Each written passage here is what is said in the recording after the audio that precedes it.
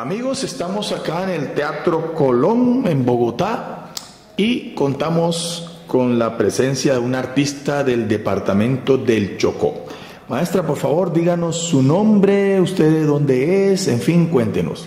Bueno, yo soy Noensi Mosquera Martínez, el bongo de Bojayá. Para los que no conocen qué es un bongo, un bongo es una embarcación de, de madera que navega sobre el río Atrato y Bojayá es la tierra donde yo nací. Un pueblo que tuvo pues una tragedia pues. hace pocos años. Tristemente, en el año 2002 eh, fue un pueblo donde hubo un enfrentamiento entre la guerrilla de la FARC y los paramilitares, en donde la población quedó en, manos en fuego cruzado y la población buscó refugio en la iglesia y se dice que fallecieron alrededor de 119 personas, pero en el proceso de sumación fueron 79, que en su mayoría, tristemente, fueron niños que en esta fecha que estamos hablando, el 2023, en mayo, de este 2 de mayo, se, va, se estarán cumpliendo 22 años de ese triste suceso. Pero el hecho es de hablar el renacer de Bojayá. Como una hija de Bojayá, eh, he hecho un trabajo y me tomé la tarea de mostrarle al mundo la otra cara de Bojayá y también ese proceso de resiliencia. Ese proceso de resiliencia varias personas eh, lo han denominado, que es el proceso mediante el cual las personas que somos víctimas buscamos ese aliciente y esa cura para sanar, para sanar esa, esa herida de la guerra, esa herida, eso que nos duele, esa pérdida.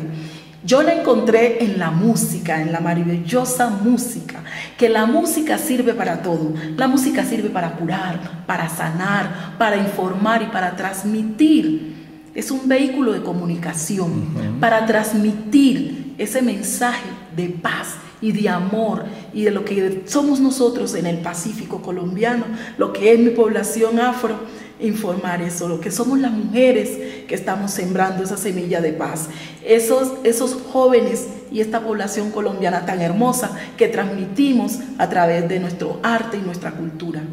Usted es cantautora, cantadora de eh, música tradicional del Pacífico Norte colombiano. Todas las connotaciones que usted acaba de decir me quedan bien, porque soy compositora, soy cantadora, o sea, canto tradicional, ¿sí? Y soy cantante de música del Pacífico, entonces tengo todas esas connotaciones. Además, soy actriz y comunicadora social. Entonces me facilita mucho estos temas porque conozco el tema, me queda fácil y aparte de eso, pues nací con este talento. Muy bien, maestra. Entonces hablemos, como este es un canal musical, hablemos de música.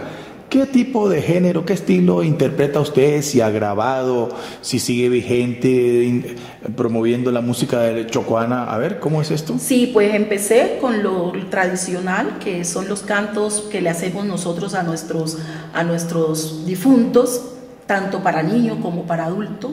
Lo que es el alabao, que se lo hacemos cuando fallecen nuestros parientes, cantamos el alabao, que se dice que es para despedir el cuerpo del espíritu, y para los niños hacemos lo que es el gualí, que se le canta a los niños cuando tienen una edad menos de 7 u 8 años, te dicen que ellos son unos ángeles, los niños, y que por eso cuando mueren hay que cantar, hay que despedirlos con alegría, por eso se cantan rondas, se juega, en ocasiones se coge el féretro del niño y se pasa de mano en mano y se baila y se juega y es como una alegría. Cantos fúnebres, ¿no? Esos cantos de Gualí ah, son fúnebres, son rituales fúnebres, pero que se convierten en una alegría, los Gualí.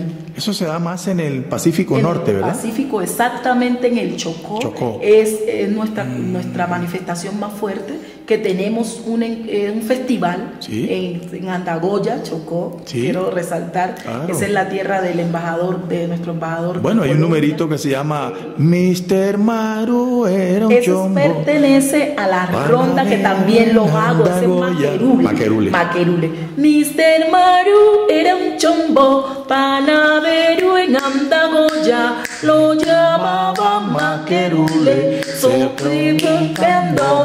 Y por eso póngale la mano al pan Maquerule, póngale la mano al pan pa' que sude, póngale la mano al pan, ay Maquerule, póngale la mano al pan pa' que sude, pim pam pum Maquerule, pero usted se lo sabe. María se está hablando con un músico.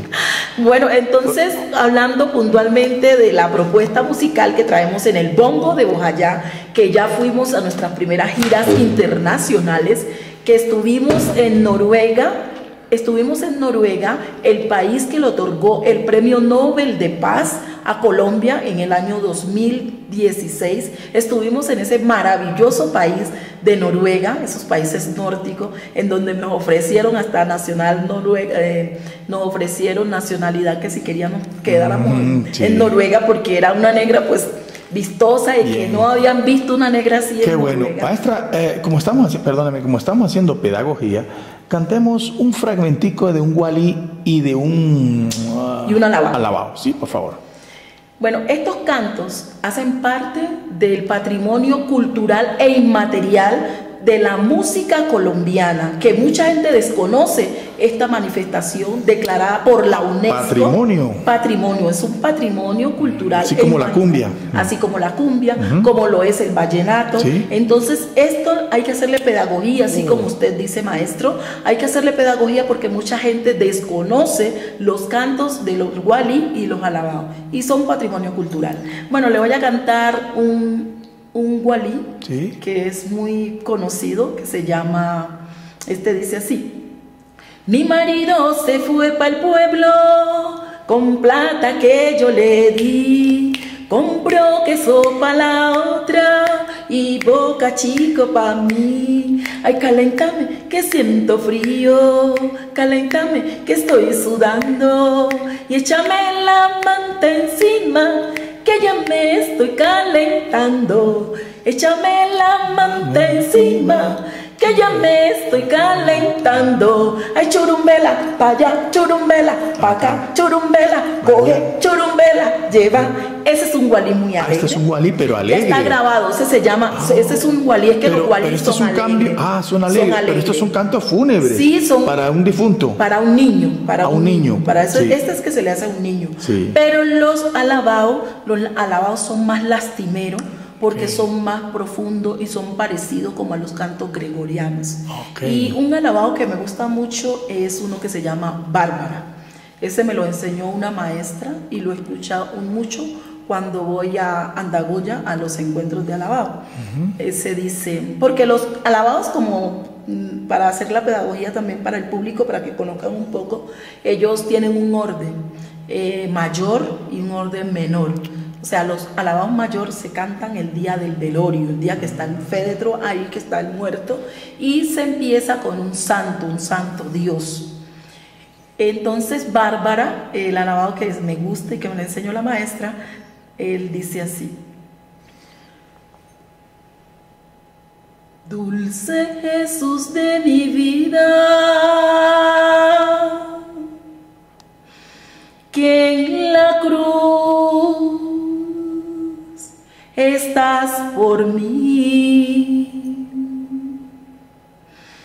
En la vida o en la muerte, Señor, acordate de mí, Bárbara.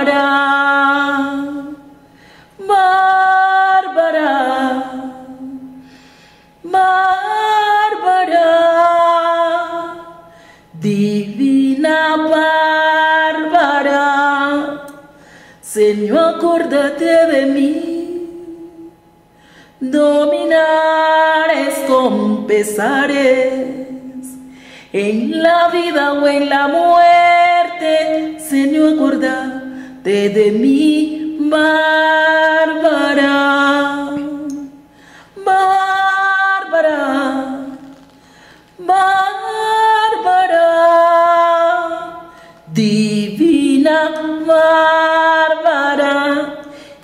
Por lo general se hace en un coro, parecía un coro gospel, donde hay un juego de voces, en donde la voz primaria va primando con los versos y el coro le sigue y le responde.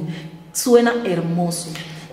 ¿Estas canciones eh, llevan algún, acompañamiento instrumental o es a capela? Es a capela, solo es juego de voces, por eso le digo que es parecido a un coro cospe. La cultura afro, nosotros tenemos viva su herencia africana, porque muchas cosas de la cultura africana están presentes, vivas en nuestra cultura, aún persiste y ojalá que que muchos jóvenes o muchas personas se apropien y, le hagan más pedagogía y divulguen más esta herencia y esta riqueza cultural que tenemos nuestra población afro. Muy bien, maestra, mire, en Colombia es muy, digamos, la música del Pacífico, tanto norte como sur, pues relativamente en los últimos años se ha venido conociendo gracias a los festivales El Petronio en Cali, bueno, las chirimías que han grabado, Peregoyo, su combo Bacaná que grabó por los 60 Mi, Mi Buenaventura, etcétera, pero digamos que la música del Pacífico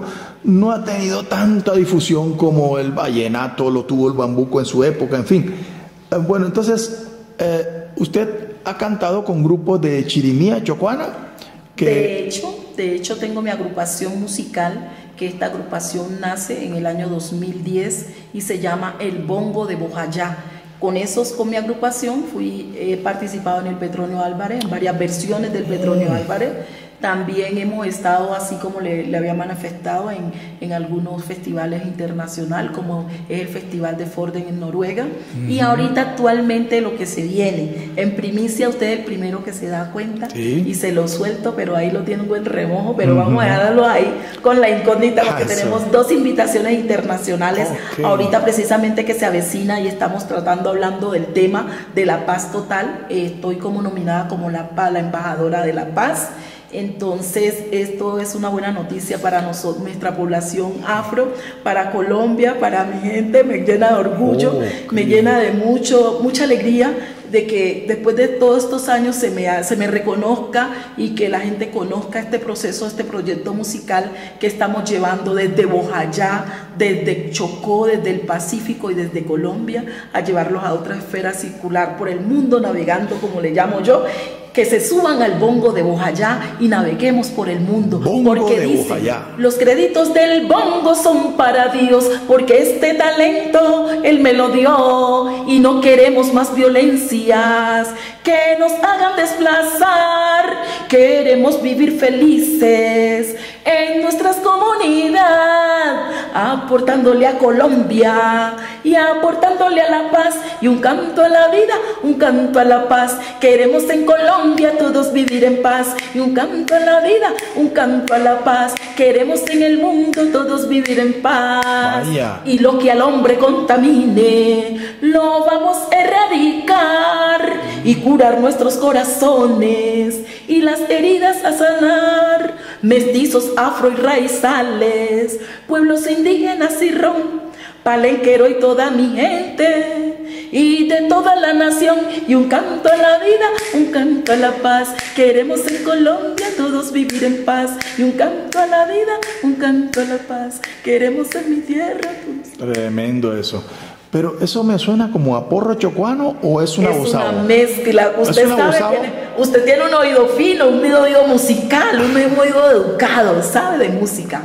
Esta es una mezcla, esta es una creación mía y autora. Soy autora y creadora de esta de, pieza musical que la denominé Cantos de Resiliencia. porque fue aquí donde yo me sané de esas heridas de la guerra y le manifiesto al mundo y a los violentos que no queremos más violencia, queremos inclusión cuando hablo de las poblaciones, los afros, los mestizos, los indígenas, hablo de inclusión, ¿sí? Pueblos indígenas, pueblos ron, porque nosotros todos todos somos humanos, pero tenemos ese marco diferencial de que somos personas y que cada, cada, población debe respetarse y debemos de respetar. Y la paz yo creo que empieza por el respeto y por mí. Cuando yo me respeto, yo me quiero, yo me valoro, yo quiero a mi gente, quiero a Colombia, yo creo que ese es un aliciente para el camino como lo, he denominado.